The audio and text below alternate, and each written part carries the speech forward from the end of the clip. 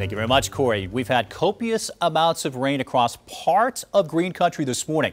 Now, at the airport in Okmulgee, they've had about 2.3 inches. Other parts of town have had anywhere from 3 to 5 inches of rain. Very interesting. The metro, now this is from the airport, a little bit uh, deceiving. Two tenths of an inch of rain, but places like Jenks have had anywhere from two to three inches of rain. We're first of all going to talk about the flash flooding that's been going on in Okmulgee for the last several hours. Now, thankfully, that rain beginning to taper off in Okmulgee, but there's been a lot of water rescues. There's been road closings, and Mark, fill us in on the latest.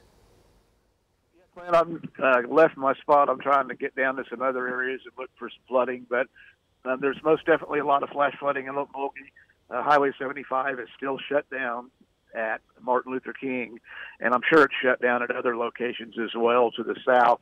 But uh, right now, if you just best advice, Clint, for everyone is just to stay in until this stuff passes over. Back to you. Okay, yeah, thank you very much. And you know, don't try to if you don't know the depth, don't even try to chance it right here. As uh, well, this this is a safe area at this point, but water over the roadway, you can get stuck, and we've had several car rescues in the Okmulgee area so far this morning. Here's a look at radar. Again, thankfully the rain beginning to taper off a little bit in Okmulgee. Flash flood warning for Okmulgee County through 845, but we've got numerous flash flood warnings all the way back across portions of Haskell County and all the way back through Okfuskee County through about 9 this morning. In addition to that, we've got flash flood warnings for Tulsa County, Osage County, portions of Creek County.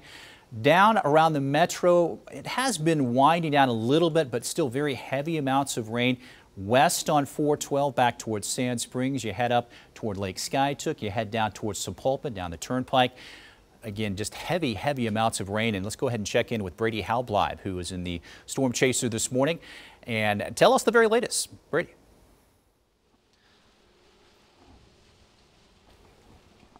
Yeah, Clint, we're on Highway 75 right now, and the traffic is actually moving pretty swiftly at this point. The rain has tapered off just a little bit for now, but again, it comes in these waves where it comes really hard and then it tapers off a little bit more. But we are seeing a lot of that water build up on the side of the highway, and we're still seeing a lot of that lightning and hearing that thunder come through every once in a while. Um, we're actually just near the um, the road work actually being done at uh, the intersection as you go off onto uh, the Turkey Mountain area. And um, for right now, things are, are moving surprisingly well for the amount of rain that's coming down.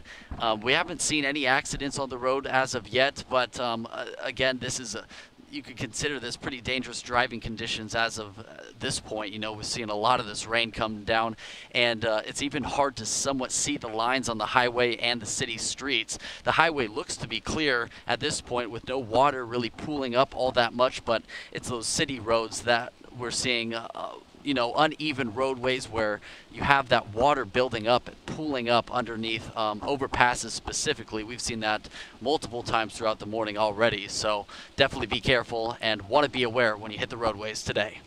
Clint. Thank you very much, Brady. Yeah, Brady is on Highway 75. He's just nearing the construction zone right around I-44. He's heading south. And again, a lot of uh, water ponding on the roadways. You need to take it easy. Allow plenty of time heading off to your destination. Let's go ahead and show you radar this morning. Very slow moving storms as we're not looking at any uh, upper level winds to really push this out real fast this morning. It's only moving about east southeast about 5 to 10 miles per hour. So it's rain moving over the same areas and that's why we have the flash flooding. Up towards Bartlesville, a few showers in that particular area. Here's a look at the hour by hour rainfall chances. They should begin to go down for us mid to late morning heading into the afternoon hours. This is for the immediate metro. As we take a look at the future track radar, again, 7 o'clock still depicts the storms Tulsa to the south and to the southeast as we head through lunchtime. Begins to shift a little bit further down to the south and then later on in the day should be generally south of I-40 for us.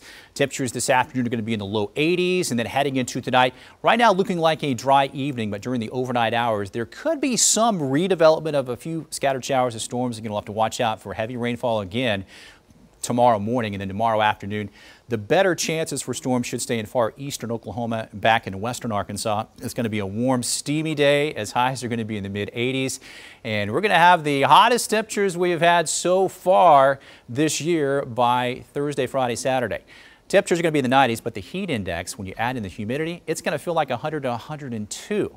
So yes, this is going to be uh, pretty tough on us. We're certainly going to have to stay hydrated, take it easy for outdoor activities Thursday, Friday, Saturday, and maybe a little bit of relief the way it looks heading into Saturday. But again, the, the uh, big story for us this morning, the flash flooding, a little bit less of a chance for rain tomorrow, and then the heat, the humidity build in by the end of the week, heading into the upcoming weekend. That's your latest forecast. Let's get a check of traffic for you this morning.